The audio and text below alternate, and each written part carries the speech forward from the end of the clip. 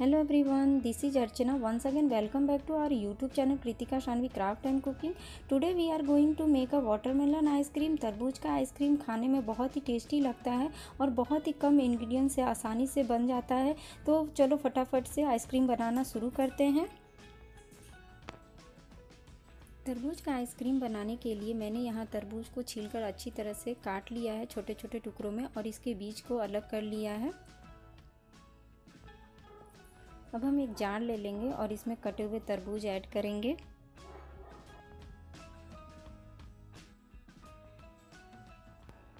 तरबूज डालने के बाद मैं इसमें चीनी ऐड कर रही हूँ, दो चम्मच। आप चीनी को स्किप भी कर सकते हैं। इसके साथ ही मैं इसमें थोड़ा सा नींबू का रस डाल रही हूँ, एक चम्मच के करीब। अब हम इसे ग्राइंड कर लेंगे अच्छी तरह से, ताकि हमारा चीनी अच्छी तरह से बिल्कुल घुल जाए। ग्राइंड करने के बाद मैंने यहाँ दो गिलास लिया है स्टील का। अगर आपके पास मोल्ड है तो आप मोल्ड भी यूज़ कर सकते हैं आइसक्रीम मोल्ड का। मैं यहाँ दो गिलास स्टील का ले रही हूँ।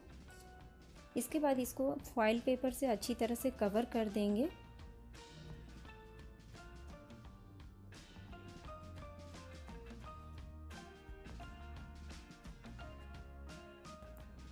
कवर करने के बाद हम इसमें चाकू से सेंटर में कट का निशान लगा देंगे।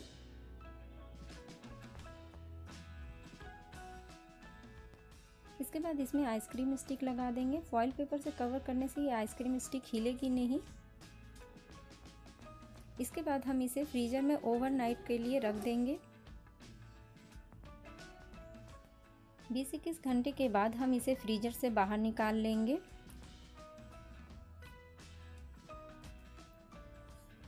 फॉइल पेपर अलग करेंगे।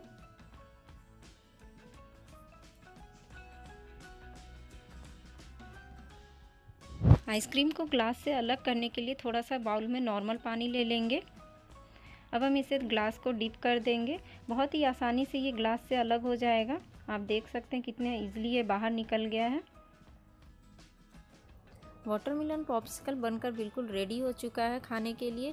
आप देख सकते हैं, ये देखने में काफ़ी ही यम्मी लग रहा है और खाने में बहुत ही टेस्टी लगता है। अब हम इसे सर्व कर लेते हैं। आई होप कि आपको ये वीडियो पसंद आई होगी। अगर आपको ये वीडियो पसंद आए तो प्लीज़ लाइक ज़रूर कर देना शेयर करना और कमेंट्स करके बताना कि आपको ये रेसिपी कैसी लगी है। आप एक बार इसे ज़रूर बना के ट्राई करना। खाने में ये बहुत ही टेस्टी लगता है। अगर आप मेरे चैनल पर नए हैं तो इसे सब्सक्राइब कर देना और बेल आइकन प्रेस कर देना। मिलते हैं नेक्स्ट वीडियो में। तब तक के लिए टेक केयर Bye-bye.